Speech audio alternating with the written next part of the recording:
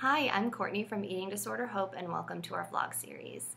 The FDA regulations surrounding nutritional information being printed on menus at restaurants has been getting a lot of attention within the eating disorder community lately because it looks like by 2017 almost all restaurants with more than 20 locations will have this nutritional information printed on their menus. So we wanted to help brainstorm some coping skills that can help you in the moment when you're faced with this nutritional information when you're going out to eat, which can already be triggering when you are in recovery.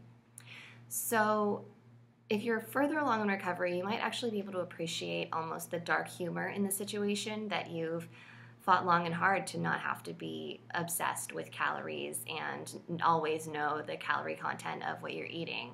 And then here you are now, whenever you go out to lunch or dinner, you're faced with this information staring at you when you open the menu. And that can be very difficult. Um, but if you're not as far along in recovery, it can be very, very highly triggering.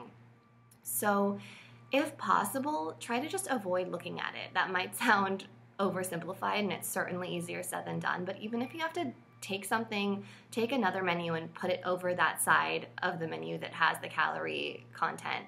Or, you know, put something else over that and just physically avoid it and cut it out.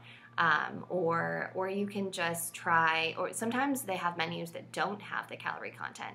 If you go to a, certain restaurants that have that option you can certainly ask for a menu that does not have the nutritional information on the side if that's just not possible for you and it would be too tempting to look, um, then another thing you can try doing is reframing your the way that you view calories. If you have gone to treatment, then you've probably already done this to a certain extent. But when you have an eating disorder, calories can become this scary thing that is just kind of an obsession, and it's it just kind of becomes its own little monster. And in reality, calories are just units of energy. And so, reframing the way that you look at these at, at, calories and what they are, and the way that you interpret them, can really help avoid triggering moments from from happening when you're out to eat and you are faced with this information.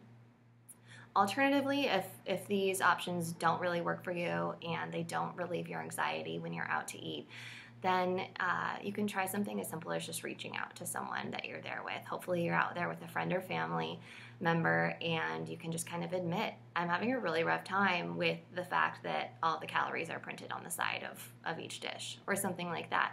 And most likely, they'll be able to, to support you and uh, at the very least acknowledge you know yeah i can see how that would be very difficult and um, if it's if possible you could ask them to hold you accountable and uh, you know not order something on the light portion of the menu or things like that. Um, but on a basic level, they can just provide general support, which is so, so important when you're going through these difficult times in recovery. So we just thought it was important to address this topic and help come up with some possible coping skills. And if these don't work for you, let us know what does work for you because we're very eager to to provide support to you guys. And uh, so we want to know what what is effective in uh, reducing your anxiety when you're out to eat, especially when you're faced with uh, the nutritional information. So let us know your thoughts, and thank you so much for being a part of our vlog series. Have a good day.